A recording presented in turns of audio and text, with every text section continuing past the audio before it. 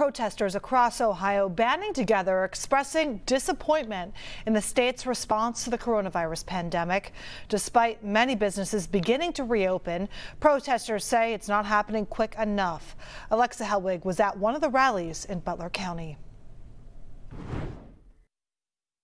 Free Ohio Now held rallies in more than 30 counties around the state today. Here at the Butler County Courthouse, protesters are trying to send a message to Governor Mike DeWine. Signs filled downtown Hamilton this afternoon. Ohio back to work and give me liberty, keep your fear. We have to get the small businesses back to work.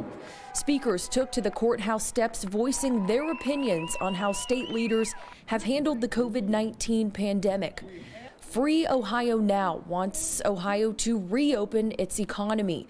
Protesters today expressed their frustrations with continued orders from Governor Mike DeWine and Health Director Dr. Amy Acton. Free Ohio Now says keeping certain businesses closed is unconstitutional and extending the stay at home order until May 29th is overstepping. This past week, Governor Mike DeWine announced his plans to start reopening Ohio. Retail stores, restaurants, and salons will start to open next week, but ralliers think he's moving too slow. I think we ought to be wide open. I mean, businesses and people have enough brains and common sense to keep themselves safe and healthy. I think it's a form of tyranny, and they're, like I said before, they, I don't think they have a right to, to violate our constitutional rights. In Butler County, Alexa Helwig, Local 12 News.